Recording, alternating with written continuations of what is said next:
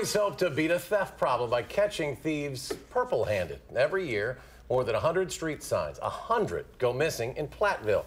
Lately, police say about five a week are stolen.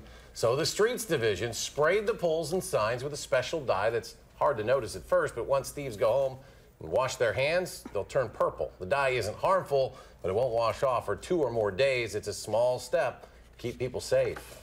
People need to realize how dangerous it is if you steal a stop sign and somebody runs through it and causes an accident. So police ask if you see anyone walking around with purple hands, you're asked to give them a call at the number there at the bottom of your screen, area code 608 348 2313. Well, even if you